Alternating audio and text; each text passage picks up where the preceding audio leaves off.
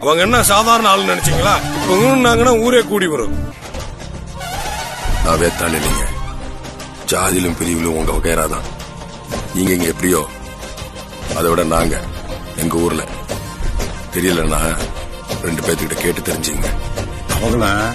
இந்த பக்கம் பெரிய தலைக்கட்டி தான். அவங்க வச்சதே சட்டம் அவங்க வச்சதே நியாயம். அவங்கள மீறி ஒன்றும் பண்ண முடியாதுன்னு